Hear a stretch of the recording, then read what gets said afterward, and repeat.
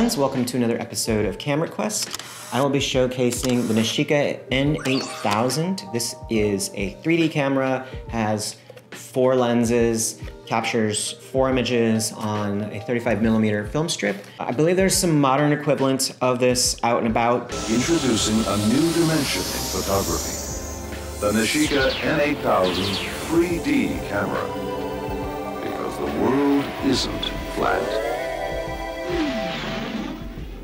I've come across these multiple times in my life. The first time I had one, I bought it at Bookman's, the local secondhand entertainment stop. For example, this 36 exposure roll will give me 18 3D pictures. Just any standard 35 millimeter 100 ASA color print film. But remember, the Nishika camera uses two frames of film for each 3D picture. So you'll get half as many photos as indicated on the label but they'll be three times as thrilling. Never shot with it. I remember researching at the time, and they were like, oh, you have to send it to a certain lab to get the results, and blah, blah, blah. After you've completed a roll of film, pop it into one of the convenient postage paid mailers that Nishika provides free of charge, and you're ready to send it off to Nishika's lab for processing. That's not true. I mean, it just uses regular 35 millimeter film that you can develop anywhere that develops 35 millimeter film. And uh, so I traded that camera without ever shooting it. And like a boomerang, another one came back in my life. My main muse, Cheyenne, had found one at a uh, state sale, I believe, and gifted it to me. And I'm like, well, I'm gonna use this thing. And went out, shot quite a bit on it over a period of maybe like four months and found it to be really cool in the GIFs it made, but you know, for bang for your buck, like getting results. Uh, if I shot a roll of 35 millimeter film through this, I got probably like three or four GIFs that I could use out of it.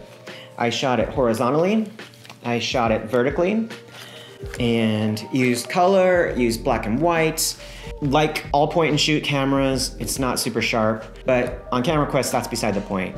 We are looking for things that are useful as art making tools and as, you know, cool things that we can have in our arsenal that we don't see a lot of out there.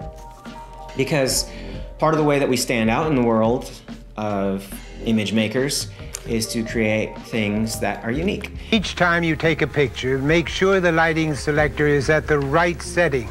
Sunny, partly sunny, or cloudy indoors. Not cloudy indoors, it means cloudy or indoors. When you're outside, choose any of these depending on the lighting conditions. But when you're indoors, set the aperture selector to cloudy indoors. As a camera that has a unique effect, and probably something that you can find super cheap in a lot of thrift stores. I actually recommend the Nishika 3D N8000. Don't think you're gonna get like a whole career based on shooting this stuff. I was able to take some of my GIFs and make music videos of my own. There's TikToks, there's boomerangs, uh, there's the NFT market. There's ways to market and utilize these strange lo-fi GIFs that I don't think there was in the past. And certainly there's apps that will do similar kind of back and forth 3D effects, but you know, I'm, I'm a purist. I like the real thing, and the Nishika N8000 is the real thing.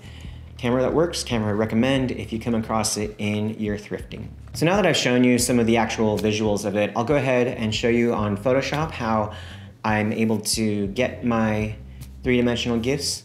Uh, I've scanned my film and in a high enough resolution that it's workable. Usually about 1600 pixels per inch, that's what I scan my film at. And from there, I'm going to open it in Photoshop, take a layer, create a new layer from it, shift it over on top of the old one with the transparency set low enough that I can see through. And once I have it aligned, I'll go ahead and use my crop tool to crop it down to a single frame.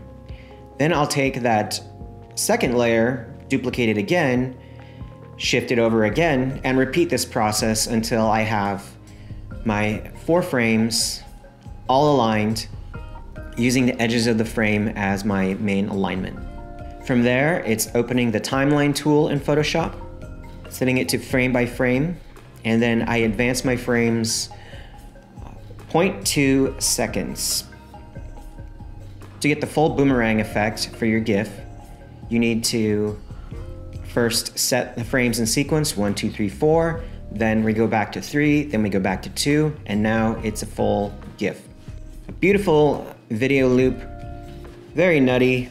All I can suggest to you is that if you are gonna stick some 35 millimeter film in it, get the cheap stuff, get the you know student grade material. No need to buy the Velvia slide film that you can only process from people who process E6 or something like that. It's going to be a waste of your money, waste of your time. One thing I haven't tried with it though is utilizing some of like the very specialty films like the uh, the purple film from Lomo or Metropolis film or the stuff that has the snow dots on it. I really like that and I haven't used it in a couple of years. Uh, I think that'd be real fun to stick in here and have everything else kind of consistent in the frame. You know, the model is stone still and it's those specks, that lightning, that color shift uh, that happens across the entire roll of that specialty film that gets fed into the GIF. Just thinking about things you can do with film that are not impossible to do with digital stuff, but you know, nowhere near as cool looking or as real looking, uh, because there's quite a bit you can do with film. Still, that while you might fake it as much as possible in digital, it's almost pointless to fake it in digital because you know the hand elements of cut collage, tape, uh, contact sheet, weird film, like just do it that way. it's the real way. It's the easiest way for sure. Um, the time that you'd spend faking all that digitally is not worth the money that you'd save on film, in my opinion. Anyways, Nishika N8000, something I recommend on Camera Quest. Best of luck in your creative endeavors. Talk to you next time.